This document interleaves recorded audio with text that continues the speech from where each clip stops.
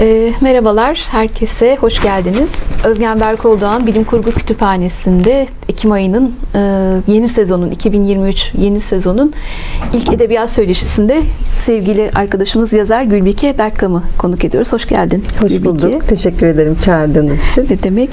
E, Gülbike ile bugün e, ağırlıklı olarak bu yıl e, 2022 yanlış söylemeyeyim 2022 GIO ödüllerinde roman özel ödül alan jürinin roman özel ödülünü alan kitabı e, Güneşi yanında taşıyan adam hatta şöyle göstereyim de hem Güneşi yanında taşıyan adam mı konuşacağız hem e, kitaptan yola çıkarak konuşacağımız pek çok şey olacak diye umuyoruz. Ben istersen kısaca biraz seni tanıtayım. Hı hı. Eksik kalan yerleri yine sen Tamamdır. tamamlarsın.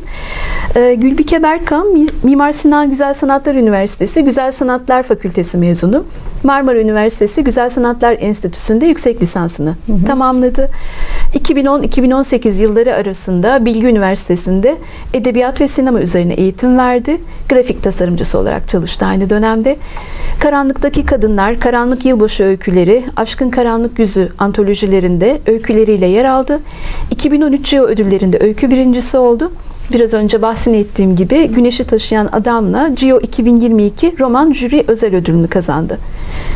Tamam mıdır eksik kalan? Tamamdır. Eksik yok. Sadece şey e, yanlış anlaşılmasın. Bilgi Üniversitesi'nde kültür sanat eğitimleri e, düzenledim. Eğitim bizzat ben vermedim. E, aynı sizin burada yaptığınız gibi e, işte yazarları, editörleri, eğitmenleri konuk alıp işte e, edebiyatın her dalı üstüne sinema hakkında işte birçok eğitim hazırladım. Yani daha çok böyle koordinasyonunu yaptım diyebilirim yani koordinatörlüğünü. Hı hı. Hatta e, söyleşi başlamadan önce konuştuğumuzdan hani başka bir şey daha aktarabilirim. Kenterler Tiyatrosu'nda bir dönem kostüm de tasarlamışsın. Şimdi bunları arka arkaya getirdiğimde hemen daha söyleşiye girerken şunu sormak istiyorum. Belli ki formasyon, güzel sanatlar, e, her dalı var. Bir yandan şahane kolajlar yapan bir insan e, Gülbike, kolaj sanatçısı. E, güzel sanatlarla bu kadar yoğun bir ilişki varken yazmak e, nereden başladı? Nasıl yazmaya başladın? Ee, şöyle başladım. Aslında ben küçükken de hep böyle bir yazar olmak istiyordum. Hep böyle bir hayalim vardı ama biraz böyle şey bu Hollywood etkisi hayali diyebilirim yani. Hani böyle filmlerde görürsünüz ya inzivaya çekilirler, şıkır şıkır yazarlar falan. Ve çok özenirdim, çok isterdim falan. Ama e, böyle o zamanlar işte böyle Jack London okuyorum. İşte Stephen King falan okuyorum. Böyle ortaokul öğrencisi falandım. Ee, edebiyat hocamız vardı. İşte öyküler yazıyorum falan ona götürüyordum. Dedim ki ben yazar olmak istiyorum. Olabilir miyim sizce? O da bana dedi ki olamazsın. Aa gerçekten. Evet gerçekten dedi. Bir de kadını da çok severdim yani. Neden peki bunu? Bilmiyorum neden öyle dedi. Yani kompozisyonlarım kötüydü. Gerçekten çok kötü kompozisyon yazıyordum ama yani kompozisyon ayrı, öykü ayrı bir şey yani. Bir de hani kompozisyonu isteyerek yazmıyorsun. İşte kötü bir konu veriyorlar. Onun hakkında bir şeyler yazıyorsun Bir de falan. şey şart değil mi? Giriş, gelişme, sonuç Tabii illa tabii, bir yani formatı var. kafana göre bir şey yazamıyorsun çok falan. Öyle bana olamazsın dedi. Ben de dedim ki "Aa, olamıyorum herhalde yani çünkü o zaman o benim için bilir kişi yani. Herhalde dedim bende o ışık yok olamayacağım ben. Ben okumaya devam ettim yani bir şey yazmadım. Yani şey falan yazıyordum o dönem işte bu Jack London'ı okuyordum mesela işte onun şeyinden çok etkilenmiştim. Ee, bu bir öyküsü vardır. Ee, Adam soğukta kalır tek başına ateş yakmak. Ondan çok etkilenmiştim falan böyle ona benzer bir şeyler. Daha çok böyle hani taklit etmek gibi kendini bulmadığın için daha o yaşta tabii ki. İşte beğendiğin şeyleri taklit edip yazmak gibi falan. Sonra bıraktım zaten. Sonra bir daha da hiçbir şey yazmadım. Çok uzun süre. Ee, sonra işte güzel sanatlara girdim. Yani şöyle bir şey aslında hep e, şöyle birleştirebilirim hepsini. Hani sinemada bir öykü anlatıcılığı. E, aslında sanat da bir öykü anlatıcılığı bir yerde. Çünkü bir sanatçının da bir derdi var. Dünya ile ilgili, hayatla ilgili. O da bir şey anlatmaya çalışıyor. Aslında hepimiz bir şey anlatmaya çalışıyoruz. Hani ne kadar insanlar umursar, ne kadar e, etkilidir o tamamen hani sanatçının kendisine bağlı bir şey ama e, temelde işte sinemada beni çok etkiliyordu. Kenterlere de oradan bağlayacağım. Ee, kostüm tasarım falan yapmak çok istiyordum. Çok hoşuma gidiyordu. İşte bilim, özellikle bilim kurgu filmlerinin işte kostüm tasarımları falan. Hep öyle bir hayalim vardı. Ee, bir gün öyle bir arkadaşım teklif getirdi. İşte bir oyun var yapar mısınız falan diye. Dedim ha yaparım. Daha önce hiç kostüm yapmamıştım. dedim yaparım. yani çünkü şeyime güveniyordum yani. E, hevesime güveniyordum. Gözüme güveniyordum yani. Öyle kostüm tasarımı yaptık. E, kendimizce de başarılı olduk yani bence oyunun kostümleri iyiydi. Eminim. Oyun çok iyi değildi ama kostümleri iyiydi. Ama sonra bıraktım onu. Hani çünkü esas hani aradığım şeyin olmadığını fark ettim yani. Ee, daha sonra zaten işte sinema üzerine yüksek falan yapabilirdim aslında ama moda tasarımını tercih ettim. Ha, tasarım tarafı hep böyle çok ilgimi çekti. Ee, onda da tezimi e, tekstil moda etkileşimi üstüne yaptım. E, te, pardon moda ve sinema etkileşimi üstüne yaptım. E, zaten yani tezimi şöyle diyebilirim sinema tezi gibi bir şey oldu zaten çünkü sinema tarihinden girdim. Hı hı. Yani daha da çıkamadım. Öyle girdim ve kaldım orada. Ee, sonra tezi yazınca çok e, kapsamlı bir tez yazdım. Sosyolojisi, psikolojisi, modanın işte zaten sonra onu yazdıktan sonra dedim ki ben moda da yapamam. Etik değil moda. Etik bir şey değil yani. Ee, ama o tez şunu anlamamı sağladı. Ben yazabiliyorum ya. Yani ben dedim bu tezi yazdıysam tez yazanlar bilir nasıl bir e, çukur olduğunu oranın ve asla çıkamayacağını düşündüğünü. Dedim ki ben bu tezi yazdıysam romanda yazarım dedim yani. Ee, tabii ilk oturdum yani roman yazmadım. Böyle bir şeyler yazdım. Bir yarım kalan novellalarım var hala o dönemden. Ee, ki bir tanesi distopya gene. İnşallah bir gün biter. Onu da yayınlarım. ee, onları yazdım. Yarım yarım kaldı. Sonra bu e, Bilgi Üniversitesi'nde hmm, verdiğim eğitimler dolayısıyla çok işte bu Fabisat Derneği var. Fantastik Bilim Kurgu Sanatları. E, oradaki yazar arkadaşlarla falan tanıştım. Dediler ki biz bir işte ödül töreni düzenleyeceğiz bu sene ilk defa. İşte sen de öykü yaz, yolla hani çok seviyorsun falan. Dedim aslında neden olmasın bir deneyeyim. Oturdum bir öykü yazdım. Son ana kadar yollamadım. Hala çünkü dedim ben yazar olamayacağım yani olamam. Kafama kodlanmış o yani evet. yazar olamazsın. Ondan sonra orada da birinci olunca tabii çok sevindim. Dedim ki ben yapabileceğim o zaman bu işi. İkna oldun mu o zaman İkna yazabileceğin? Oldum. İkna oldum evet. Ee, zaten e, onun üstüne işte bir iki öykü daha yazmıştım. Bilgi Üniversitesi'ndeki birkaç e, edebiyat hocası var, eleştiri kuramlarını yapan hocalar. Onlara falan okuttum. Bana dediler ki evet iyi, güzel Hı-hı. devam et. Celil Oker vardı. O yaratıcı yazarlık dersi veriyordu bizde. Ee, onun kursuna katıldım bir. Ondan sonra ona çok böyle e, herkes yazar olabilir mi falan diye hararetli tartışmalar yapardık karşılıklı. Ben derdim ki olamaz, o derdi ki olur.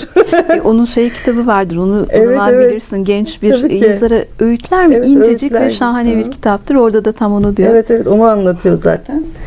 Ee, o da dedi ki tamam yani sen gel eğitimleri ama dedi hani gelmene gerek yoksa yani yazdıklarımı ona da okutmuştum. E dedi sen zaten yazıyorsun gerek yok gelme hiç boşuna. E dedim iyi o zaman. E, o da tabii yani bunlar da beni çok teşvik etti. Hani o insanlardan iyi bir şeyler duymak.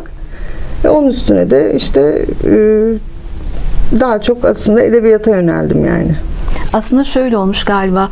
Ortaokuldaki öğretmenin büyük bir talihsizlik. Ondan sonra herkes seni yazar olabileceğine ikna etmeye çalışmış. Evet, evet yapabilirsin. Gerçekten öyle. Bunun için gerekiyorsa ödül, gerekiyorsa teşvik evet. her şey. İyi ki de öyle olmuş ki hani biz e, öykülerini ve romanlarını daha İnşallah gelecekte. yazarım roman. Evet. evet. e, peki hani bilim kurgu neden diye soracaktım ama sen zaten bunu arada Hı-hı. anlatmış oldun. Baştan beri zaten bilim kurguya ilgin vardı ki Fabisat'la da ilişkiye Hı-hı. geçmiş oldun. Ya Başka türleri evet. de denemiş miydin? Ee, yani biraz böyle korku gerilim tarzı da yazdım. Ee, yani bazı öykülerim öyle. Korku gerilim aslında o, o da hoşuma giden bir dal. Ee, ama hani şu an için ya bence zaten her şey denenebilir yani ve bence yazarı geliştiren bir şey değişik türleri denemek. Değişik Hı-hı. türleri okumayı da severim bu arada yani. Her tür edebiyat okurum yani. Ee, bence hani şey değil ee, ama bilim kurgunun şöyle bende yeri ayrı işte yani çocukluğum o filmlerle o dizilerle falan geçti çok etkiledi beni ee, ve hani bilim kurgunun çok şey aslında anlattığını düşünüyorum toplum hakkında ee, o yüzden de mesela işte o Bilgi Üniversitesi'nde yaptığımız eğitimlerde bir sürü bilim kurgu, e, sinema ve edebiyat dersleri yaptık. Bu arada orada böyle çok kemik bir kitlemiz vardı. Edebiyat hocalarından, lise hocaları, ortaokul hocalarından oluşan. İşte daha çok normal e, can yayınlarıyla hazırladığımız eğitimlere falan gelirlerdi. Bu bilim kurgulara da hani merak edip geldiler. Sonra beni şu çok sevindirmişti. Ee, bir gün bir gittim masama biri çiçek bırakmış, ertesi hafta biri çikolata bırakmış. Çok teşekkür ederiz. Bizi bilim kurguyla tanıştırdınız. Biz böyle bir şey olduğunu bilmiyorduk bilim kurgunun diye. Yani o zaman dedim ki abi amacıma ulaştım yani işte birileri anladı. Yani onların anlaması önemli çünkü çocukları eğitiyorlar. Ve çocuklara hani bunu okumayın, boş boş şeyler okumayın deyip başka kitaplara yönlendirecekler belki. Ee, ki işte ben biliyorum yönlendirilmenin ne kadar kötü bir şey olduğunu bizden. Yani onun için onu anlatmış olmak beni sevindirdi açıkçası ve insanların bunu görmüş olması. Tabii ki yani bu eğitimlerde işte Bülent Somay, Kutlukan Kutlu, işte Hakan Bıçakçı bir sürü arkadaşımız geldi, eğitim verdi. Ee, ve yani gerçekten çok e, geliştirdiğine inanıyorum yani. Bir grup insanı kurtardığıma inanıyorum en azından. Evet, evet bu çabayı biz de çok iyi anlayabiliriz herhalde değil mi? Evet. Kütüphanede e, yıllardır hani söyleşilerle, buranın varlığıyla yapmaya çalıştığımız şey aslında bu. E, peki istersen yavaş yavaş e, geçelim mi güneşi yanında taşıyan Tabii, adama? Romanı okuyanlar vardır herhalde aramızda. Hani e, spoiler vermeye de sürpriz kaçıran yapmaya da böyle bir şey yapmaya da çok çekiniyorum ama o kadar teşneyim ki böyle şeylere elimden geleni yapacağım. Hani kısaca değinirsek e, yapay zeka ile yönetilen çok e, konuyu özetlemeye çalışırsam bir toplum var. Evet. Nuit isminde bir yapay zeka diktatör artık bu insanları ele geçirmiş. E, bir sınıfsal bir çatışma var. Yukarıda yaşayan insanlar var. Aşağıda şehrin alt katmanlarında yaşayan insanlar var. Birbirleriyle asla temasa geçmiyorlar. Ve burada e, tanıdığımız karakterler var. Yavaş yavaş e, yazar bize karakterleri tanıtıyor ve olaylar çok sakin gidiyormuş gibi görünürken birden hızlanıyor ve işin içine bir polisiye e, unsur katılıyor, cinayetler başlıyor, başka şeyler oluyor ve hiç ummadığımız şekilde sona doğru gidiyor. Sanırım doğru toparladım. Ee, sen nasıl tanımlarsın romanı? Hani distopyaya yakın mı duruyor? Öyle duruyor ama nedir? Ne dersin? Yani bir distopya zaten. Yani distopyayı ben şöyle tanımlayabilirim. Hani birçok insan da öyle tanımlıyor. Hani m, bilimin toplumu etkileme e, kapasitesini anlatan kitaplar diyeyim. İşte bilimin ya da teknolojinin hani ya da işte neyse gelecek şeyiniz, senaryonuz. Yani toplumu nasıl etkiliyor? İnsanın psikolojisini nasıl etkiliyor? Bence bu bir distopyaya giriyor. Hani onun dışında tabii ki hani uzay maceraları olur, işte uzayda geçen uçmalı kaçmalı şeyler olur falan hani onlar da evet bilim kurgu. Ama hani distopyanın başka bir temeli var gibi geliyor bana o nedenle ve daha yakın buluyorum. Ee, yani distopyayı şöyle aslında biraz böyle yazıldığı dönemi anlatıyor bence distopya. Çünkü hani yazarken sonuçta bir toplumun içinde yaşıyoruz ve bu, top- bu toplumda gelişen e, olaylara göre bir gelecek dizayn ediyoruz. Hani bu böyle bir kehanet gibi bir şey değil zaten de bu daha çok şey e, ne olmasından korkuyorsun gibi hani ütopya olmadığı için hani bu toplum sence nereye gider? Hani hiç iyi bir yere gitmez diye düşünüyorsun. Yani benim yazdığım oydu aslında. Çünkü beni korkutan çok fazla şey vardı. Ee, hala çok fazla şey var. Hani bu toplum gelişmeler, siyasi şeyler, bilimsel gelişmeler. Ee, ya şöyle ki mesela işte bu e, Apple'ın gözlüğü tanıtıldığında reklamını izlediğimde ya ben ürktüm yani. Belki yaşımdan ötürüdür bilmiyorum ama bana çok ürkütücü geldi. Çünkü sadece olabilecekleri düşündüm onun üstüne. Hani Aa, bu çok güzel bizim hayatımızı kolaylaştıracak. Wow diyemedim yani. Sadece ne- nereye götürebilir onu düşündüm. Biraz da tabii kafa yapısıyla ilgili bir şey sanırım yani. Ee, ya daha çok işte e, şeyi anlatmaya çalıştım açıkçası Hmm, bu distopyada. Ha, benim derdim şuydu. Ee, biz şu anda böyle bir m, irademizin is- istilası söz konusu. Ee, Birçok alanda, özellikle sosyal medyadan, E, sürekli zaten kapitalizmin şeyi var, dayatması var. Sürekli bir şey eksik hayatında ve sürekli sana bir şeyi tamamlattırmaya çalışıyor. Onu kitapta çok anlatmaya çalıştım. Evet. E, şeyde de vardır. e, Amerikan sapığında da okuduğumda aslında hani ona benzemesin diye biraz çalıştım. Hani bazı şeyler evet göndermelerim var direkt insanlar anlayabilir hangi kitaplara belki filmlere gönderme yaptım ama onu hani özellikle çok belli etmemeye çalıştım ama e, Orada da mesela sürekli markalardan bahseder. Sürekli birbirleriyle yarışırlar. İşte benim hani bir kart sahnesi vardır orada işte. Benim kartım işte pütürlü değil. işte onunki pütürlü. Aman Allah'ım benimkinden daha iyi. Bakıyorsun ikisi de beyaz üstüne kabartma yazı yazılmış. Kartlar hiçbir farkları yok neredeyse. Ama adam böyle terler döküyor orada kıskançlıktan falan. Ee, o yüzden mesela çok fazla içinde şey geçiyor işte böyle hani markalar. Hatta şöyle anlıyoruz. Alışveriş yapmak zorundalar Evet, tamamlanabilmek evet, için. aynen. Biraz önce eksiklikten söz ettin ya hani şey. Evet evet öyle düşündüğüm için işte yani çünkü aslında şu an bizim yaşadığımız da o. Ben sadece onu biraz abarttım ama be- belki ileride hiç abartı olmayacak ki bu çok hızlı gidiyoruz buna. Mesela yapay zekayı da ben orada abarttım ama e, neredeyse şu an yani o kadar hızlı gelişiyor ve evrimleşiyor ki o da kendi içinde. Yani ne olacağını şu an öngöremiyorsun. Ee, 2019'da yayınlandı kitap. Sen e, yayınlanmadan ne kadar zaman önce yazmıştın? Yani ilk yazmaya başladığın zaman ne zamanda hatırlıyor musun? Ee, 19'da yayınlandı. Ee, iki sene kadar bekledi yayın evinde neredeyse unuttular da kitabımı. Ee, sanırım 2015-2016 falandı. 2015-2016 desek işte yaklaşık bir 7 yıl öncesi falan var. Şunun için e, tam tarihi konuşmak istedim. Yapay zekadan söz ediyoruz. Hani 7 yılda yapay zekanın kat ettiği gelişme akıl almaz. Şu Tabii anda vardığımız nokta. Şeyi hissettiğin, düşündüğün oluyor mu zaman zaman? Hani her gün yapay zeka ile ilgili başka bir haber okuyoruz. Evet, Geçen ben de şey hani biraz önce dedin ya Google gözlüğü gördüğümde ürperdim. Geçen gün e, Şener Şen'in bir kült sahnede işte bu, ya şey Süt Kardeşler ya da Tosun Paşa onlardan birinde e, karşısındakini muhtemelen Kemal Sunal'dı şimdi ayrıntısını hatırlamıyorum azarlama sahnesi var ama çok bildiğimiz bir sahne. Aa, Bir baktım Şener Şen İngilizce konuşuyor ve kendi sesi hani Şener Şen konuşsa Türkçe vurgusuna kadar aynı. İnanılmaz. Aynı. İnan pek çok örneği vardı. Hani biliyorum duyduğum oldu ama Şener Şen bende bir şok etkisi yarattı çünkü inanılmaz o kadar gerçekçiydi. Hani bunlarla bu kadar sık karşılaşıyoruz. Şeyi düşündüğün oldu mu? Oluyor mu? Ee, benim Nuit şimdi yazsam daha farklı olurdu ya da Aa, evet şunları çok doğru Ya şöyle görmüşüm. Evet düşündüğüm oldu ve şeyi düşündüm. Şu anda yazmak onu çok daha zor olurdu benim için. Çünkü o kadar hızlı ilerliyor ki yani şu an işte o e, gerçeklik algımızı kaybedeceğiz bir yerden sonra. Yani biz şu anda Instagram'a bakarken bir sürü aslında gerçek olmayan şeyle karşılaşıyoruz.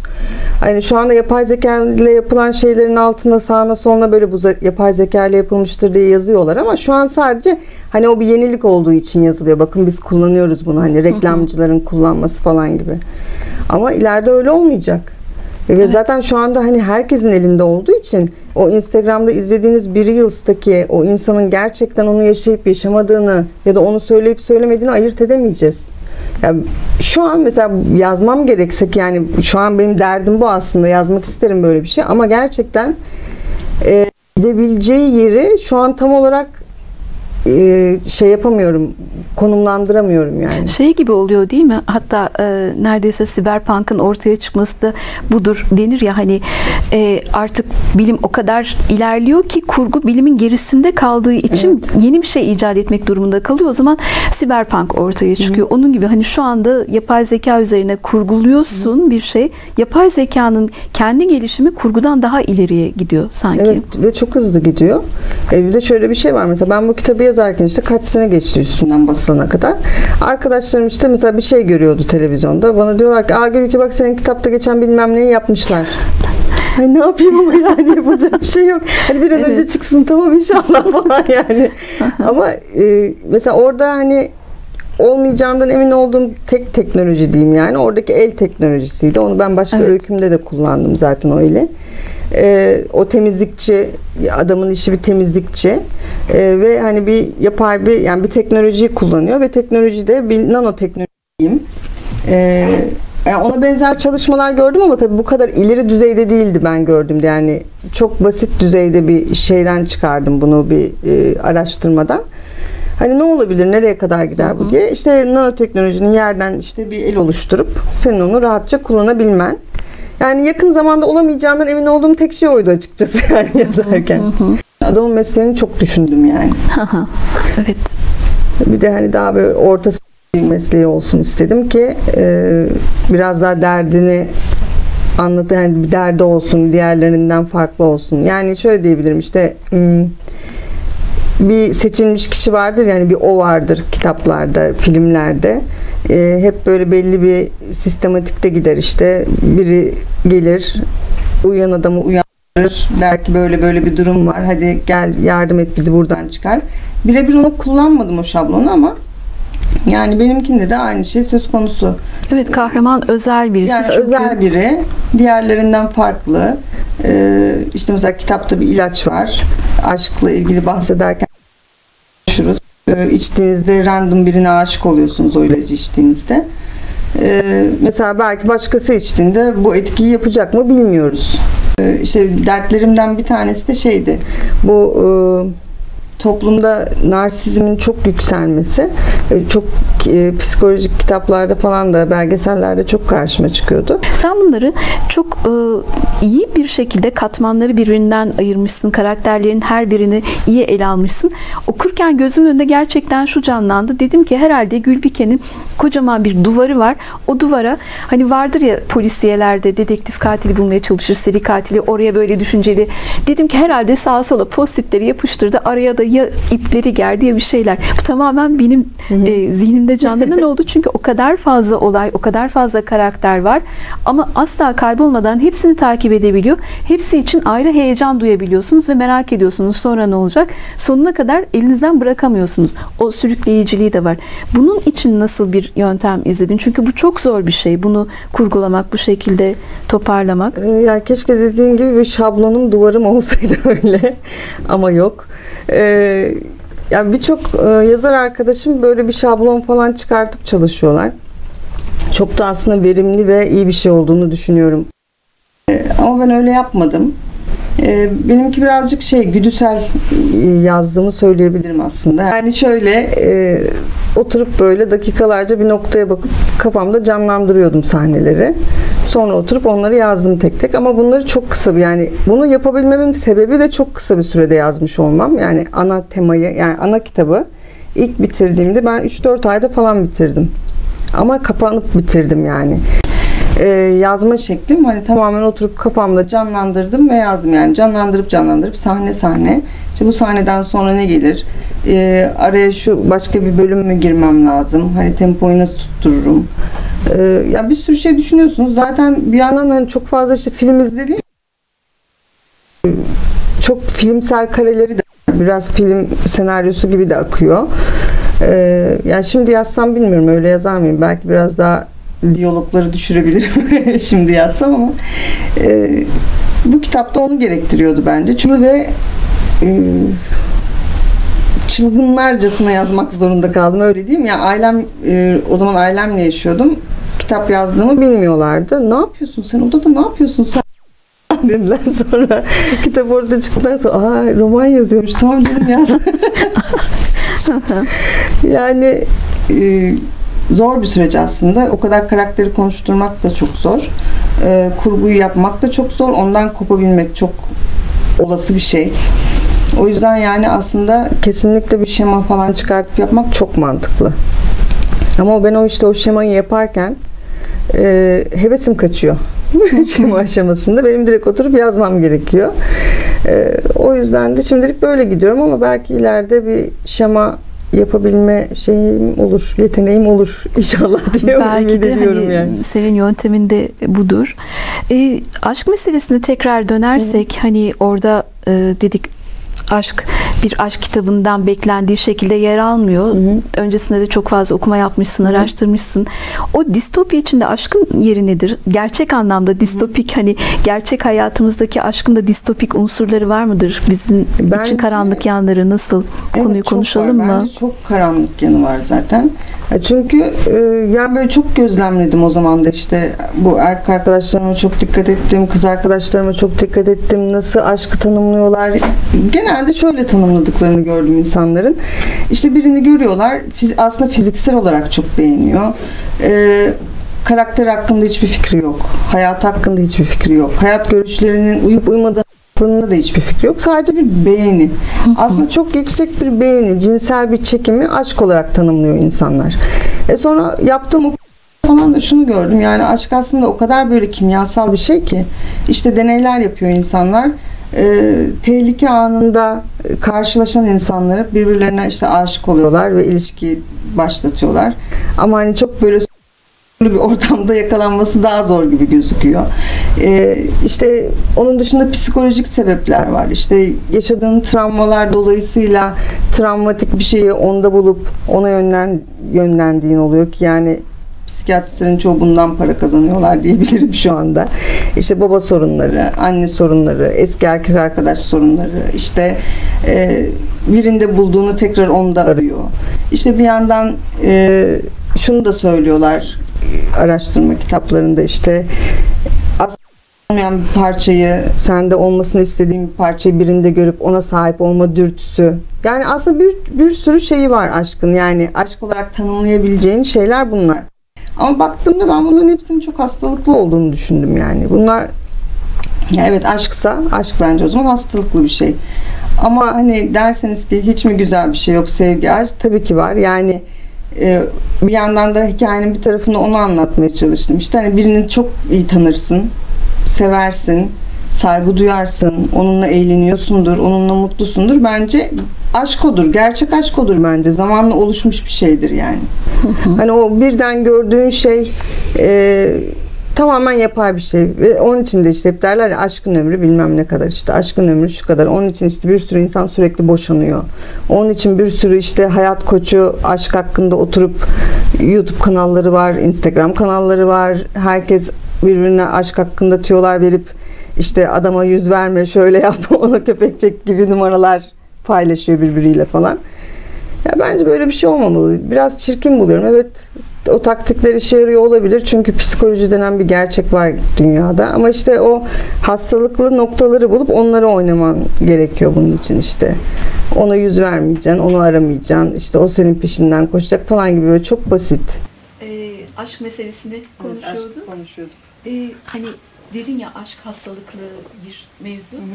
Yapay zekanın da bunları öğrenme, bizi bunlara karşı e, bu şekilde kullanma şansı, bunları bize karşı kullanma şansı ne dersin? Yani Bu olabilir. kadar karanlık. E, yapay zeka için şey diyorlar işte e, kendi çıkarı için bir şey yapamaz, yapmaz falan diyorlar ama yani işte hiçbir zaman neyin ne olacağı belli olmuyor. Çok hızlı gelişiyor her şey. Yani yönetmek için kullanabilir bence. Yani eğer bir onun için kullanılacaksa mesela evet ileride belki yapay zekanın bir şirket yönetmesini bence göreceğiz. Bir ülke yönetmesini biz görür müyüz? Bilmiyorum ama ileride belki Çok olabilir. Çünkü orada göreceğiz. stratejik, pardon. Pardon. Hawaii'de yapacaklar ya sanal hükümet. Yani o yüzden e, böyle bir yönetim şeyi alırsa, gücü alırsa muhtemelen insanları yönetmek için yani psikolojik şeyler kullanacaktır yani. Hem sosyolojik hem psikolojik onları insanı gütmek için. Yani şu an zaten insanlar da insanları güdüyor yani. Şirketler zaten full olarak bizi kullanıyorlar. Yani kapitalizmin şeyi bu zaten. E, zamanımızı satıyoruz onlara. İşte ki zaman aslında elimizdeki en değerli şey yani hepimiz ölüp gideceğiz ama yani onlara veriyoruz işte bunu. Hani hiçbirimiz oturup günde 3 saat Instagram'da vakit geçirdikten sonra hayatımın 3 saatini burada geçirdim değdi mi demiyor. Evet. Ya o yüzden de yani bence her şey olabilir, kullanılabilir yani. Çok olası bir şey bence. Evet.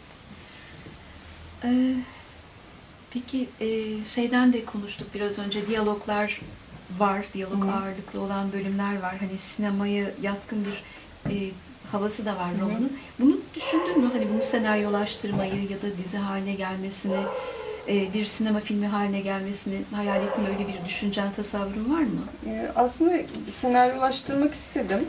Ee, ya ilk zamanda çok uğraşmak istemedim zaten. Çünkü kitap yazma süreci biraz böyle e, insanı sıkan bir süreç. Yani devamlı okuyorsun düzeltiyorsun okuyorsun düzeltiyorsun. Biraz artık hikayeden soğutuyor insanı yani bir yerden sonra. Ancak işte böyle araya vakit geçtikten sonra e, daha şey bakabiliyorsun.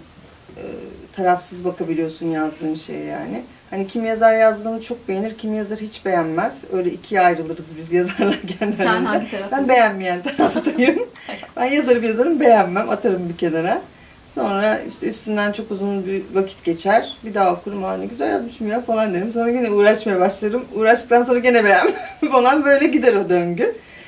O Ee, zaman seni bir yerde yakalayıp durdurup yazdığın kısmı elinden alıp basmak falan gerekiyor. evet olabilir. Ya işte öyle yarım kalmış bir sürü işte novellem falan var zaten. Yarım kaldılar yani bilmiyorum ne zaman biterler. Ee, ne anlatıyorduk ben? e, en son şeyden Senaryo. sinema ve dizi uyarlaması. aynen. Ya onun için de senaryo e, belki hani şu zamanlarda yazsam yazabilirim ama senaryo yazma konusunda hani hiçbir eğitimim yok. Daha önce de denemedim. E, ama hani roman yazma konusunda da bir eğitimim yoktu. E, yani uğraşsam yapabilirim aslında ama ben belki bir yol göstericiye ihtiyacım olabilir çünkü hani çok kendime güvenemem şu aşamada. E, bir de tabii ki bu roman doğru bir tercih olur mu ilk senaryo senaryolaştıracağım e, eser için. Belki bir öykü yapmak daha doğru olabilir bilmiyorum. Bir de bilim kurgu hani zaten Türkiye'de çekilmesi zor bir şey. Hani tam çok aşırı teknolojik şeyler yok ama hani bir sürü efekt kullanılması gerekecekken maddi açıdan e, zorlayabilecek bir şey bence. Şir, yapım şirketlerini falan çok tercih edilir mi bilmiyorum. Aa, sıcak kafa yapıldığında çok sevindim. Dedim ha birileri parayı harcadı buna en sonunda. Bir de hani çok güzel bir kitaba. Ee, keşke daha çok ses getirseydi, daha çok izlenseydi isterdim yani. Müstecaplıoğlu'nun da bir şey satıldı. Birkaç tane daha olmuş. Bir iki kişinin daha Şeyi duydum. yeni bir Ee, kitap- şeyde Afşin Kum'un Afşin Kum'un yeni da bir romanı daha var. çekimleri Kübra mıydı? bitti. Kübra'nın da çekimleri Kübra'sı. bitti. O da herhalde önümüzdeki dönemde olacak. Var. Hani bunları duymak da sevindiriyor. O yüzden hani sevindim. hazır böyle bir furya başlamışken acaba e, sen de Hazır bir senaryo olsa elimizde böyle. Değil mi? Hemen versek evet aslında. İyi fikir. Peki e, bir ara o şeyden söz ettin mesela bu hap meselesinin ortaya çıkması yazılımcı erkek arkadaşlar. Hı hı. Orada çok tatlı ifade ettin onu. Şey dedin e, ya tabii hepsi erkekti. O, oradaki o tabii vurgusu bu tabii hepsi erkek. Yazılımcılar öyle. Sen bilim kurgu edebiyatında da buna benzer bir şey hissediyor musun? Kadın bilim kurgu yazarı olmak, bir kadın olarak bilim kurgu yazarı, bilim kurgu yazmak nasıl bir şey? Tepkiler ya da diğer şeyler, hepimizin bildiği, yaşadığı şeyler hani seninle konuşalım istiyorum bunu. Evet yani maalesef zaten dünyada böyle bir düzen var yani. Ee, erkekler birçok meslekte daha söz sahibi, daha çok ciddiye alınıyorlar. Ee, yazılım camiasında da öyle olduğunu görüyorum. Yani yeni yeni bazı şirketlerde çok kadın yazılımcı gördüm. Çok sevindim. Bir sürü gerçekten artık işe almaya başlamışlar yani. O güzel bir şey. Ee, ama Ya da şeyden söz ettin, e, tabii ki kadın yazardan aşk söz konusu. Aynen öyle. Ya biyografik bir hikaye olacak, içinde bol bol aşk olacak. Ya tabii insanları ben çünkü şey yapıyordum işte işte Gülbike kitap yazıyor falan diyorlardı. Aa ne yazıyorsun işte hayatını mı yazıyorsun? Aşk kitabı mı yazıyorsun? Yani direkt insanlar bunu soruyordu. Ay, çok sinirlerim bozuluyordu gerçekten yani. Oturup bir aşk kitabı yazıp koyacaktım önlerine ya al oku diye. Ama yani bunu bekliyorlar. E, genelde bunu görmüşler çünkü. E, şeyde de vardır, biz güzel sanatlarda da işte neden hiç kadın sanatçı yok diye böyle çok ünlü bir makale vardır. Evet. Şimdi kimin yazdığını hatırlamıyorum. Ee, evet yani çünkü çok fazla fırsat olmuyor kadınların. Çok ciddiye de alınmıyorlar. E, ben kitabı çıkartırken G. Bergkamp diye çıkardım. Özellikle böyle istedim. Dediler emin misin? Dedim eminim. Yani Doğru ben kim olduğumu sa- saklamayacağım zaten. Hani arayan bulur internette kim olduğumu. Ama hani rafta gördüğü zaman o ön yargısı olmasın istedim yani. Zaten hani Türk yazara da bir ön yargı var bilim kurguda. Hani e, insanların şöyle bir şeyi var, onu çok duyuyoruz. Hani yazarken bile ben çok zorlandım o yüzden. Hani Türkiye'de geçemez bir bilim kurgu. İşte Türk isim kullanmak mesela o mevzu çok rahatsız eder bir sürü insanı. Ben o yüzden çok böyle Türkçe isim kullanmak istemedim. Hep böyle global bir dünya hayal ettim. O global isimler her dilden işte Ama değişik Türkçe'de değişik de isimler kullandım. isimler de var. Bir de hani isimlerin değişeceğini düşündüm. Hani Türk bir isim de zaman içinde bir değişime uğrar, söylenişi değişir falan diye düşündüm. Hani biraz öyle bir mantık yürütmeye çalıştım. Ama e, evet kadın yazar olunca beklentiler değişiyor. Özellikle de bilim kurgu zaten Türkiye'de çok az e, satan bir tür. E, belki yeni yeni şimdi daha çok satıyordur Son okulu yıllarda gençler. Evet son daha yıllarda fazla. daha çok artmış olabilir ama e, işte yani bizde bir Philip K. Dick çıkmıyor mesela. Ben çok severim Philip K. Dick'i. Ama e, e, gidip de işte onun kitapları gibi 50 bin, 100 bin, 200 bin milyonlar falan satmıyor Evet, evet. yani. En çok satan 3 baskı yapıyor falan E, diyebilirsin. Hı hı. Onun dışında işte gerçekten o kadın yazarların yazdığı gerçek hayat hikayelerinden çıkma kitaplar. İşte e, o psikolog hanımın yazdığı şimdi adını hatırlayamadım. Gülseren. Gülseren Budayıcıoğlu'nun kitapları gibi. Ya da işte tarih kitapları. Yani Türkiye'de yazan kitaplar belli. Aslında hani e, satan kitaplar onlar. E, polisiye çok büyük bir atak yaptı. Ona çok sevindim mesela. Eskiden polisiye de satmaz diyorlardı. Hiçbir yayın evi basmak istemiyordu falan. Bence çok güzel bir tür. Polisiyeyi çok severim ben. Zaten hani biraz da böyle içine sokuşturdum. Evet, evet. Ee, yani onun için belki zamanla o da değişir diye düşünüyorum. Yani çünkü mesela kadın komedyen de olmaz derler. Bir sürü kadın komedyen var. Ha, tabii ki seversin sevmezsin yaptığı işi ayrı. Ama hani o ön yargıyla bakmak biz de erkek yazarların hani öyle ayıracaksak kadın erkek diye yazdığı bir sürü şey beğenmeyebiliriz yani. Hani herkesin yazdığı bir sürü şey. Yani Kafka'yı beğenmeyen insan var, Dostoyevski'yi sevmeyen adam var. Yani ben Jack London'ın Martin Eden'la tapabilirim ama başkası hiç hoşlanmayabilir yani. Hı hı. O yüzden hani böyle bir tabii ki öyle bir beklenti yok. Ama, Ama, işte o ön yargı olmasın rafta kitabı alırken. evet, e, yani isminin değil G. nokta Bergkamp olması aslında bir sürü şeyi anlatıyor şu anda. Evet. Bunun daha önce de çok yapıldığını biliyoruz. Rowling de öyle Hı. yapmıştı. Le Guin bu şekilde Playboy'a gönderiyor mesela Evet. bir öykü. E, şey yapmıyor çünkü ismi Hı kabul hı. etmiyorlar. E, böyle kadın yazarlar pek çok var. Bunun aşılacağını umuyoruz. Hani artık 2023'te bunlarla uğraşmayalım. Artık Allah aşkına ismimizi oraya Gülbiki olarak yazabilelim. Yani umarım olur bir gün. Ee, sizlerden sorular varsa katkılarınız, sormak istedikleriniz, yorumlar. Okurken hep merak ettim. Acaba bir şeyin kısaltması mı diye. Nuit nereden geldi? Ee, Nuytva çok e, Google'ladım. İnuitler aklıma. Ee, yok böyle Mısır'da bir e, tanrıça adı. Ee, ama hani çok bilindik bir tanrıça değil. Hani zaten çok bilindik bir şey olsun istemedim. Ee, söyleniş şekli hoşuma gitti. Bir de e, tam Nuit olarak geçmez ama Alien e, 2'de küçük bir çocuk vardır. Adının e, bir lakabı vardır. Nuit gibi falan bir isim. Bana onu hatırlattı. Alien'ı da çok severim. Kitapta öyle bir sürü sevdiğim bilim kurgulara, filmlere, kitaplara ufak ufak göndermeler var. Biraz aslında onun için seçtim. Başka var mıdır? Ee, kitabı sonu çok aslında heyecan dolu bitiyor ve ben devam edecek mi gerçekten bir gün devam eder mi merak ediyorum. Devamı gelir Ben de mi? geçen gün onu düşündüm. Devamı aslında gelebilir. Çok açık bitiyor diye. Evet. Ee, aslında gelebilir. Çok da hiç beklenmedik bir şekilde de gidebilir. Kafamda bir şey canlandı aslında geçen gün. Dedim ki ben buradan nasıl götürürüm olayı bir de hiç beklenmedik bir yerden nasıl girerim diye. Belki olabilir aslında. Ya çünkü distopya, bilim kurgu yazmayı seviyorum. Ee, ama arada bir e, şeye ihtiyacım var yani bir öykü kitabı, belki ufak bir novella falan. Şu anki Bir iki, projeler, evet onu bir şey yazmak tam. istiyorum öyle. Neler yapıyorsun diyerek. şu Ee. Şu an öykü kitabı yazmaya çalışıyorum. İşte akşamları eve gittiğimde biraz kafayı toparlayabilirsem e, oturup yazıyorum. E, bakalım o kitabı bittiğinde zaten umarım çok uzun sürmez. E, inşallah hemen basılır diye umut ediyorum. E, bir de bir novella, işte bir yarım kalan novellalarım var demiştim. E, onlardan en azından birini bitirmek istiyorum bir. Yıllardır elimdeler çünkü yani çok çok uzun yıllardır ve üstlerinden çok geçip okudum. Ee, onlardan birini bitirmek istiyorum. Ee, ama şöyle de bir şey var tabii. İnsan çok eskiden yazdığı için işte bu yazılan şeyler diyorum ya aslında yaşayan, yazıldığı zamanı anlatıyor. Ee, yani mesela işte bu kitapta da şeyler var. Bir sürü insanların başına bir şeyler geliyor. Karakterler var. Yani hepsi benim yaşadığım şeyler değil tabii ki. Ama sağdan soldan sürekli alıyorum, besleniyorum yani. Onun yaşadığından, oradan duyduğumdan, YouTube'da birinden duyduğumdan. Yani devamlı bir yerlerden bir şey alıyorsun. Ama işte o, günü yansıtıyor. Şimdi işte o geride kalan, ım, eskide kalan şey yaz- yazdıklarıma baktığım zaman e, daha eksik hissediyorum o yüzden. Onları biraz daha geliştirmek gerekiyor. O yüzden inşallah bir novella ve bir öykü kitabıyla sizlerle buluşurum. İnşallah çok isteriz yine seni burada konuk etmeyi, konuşmayı onlar üzerine de.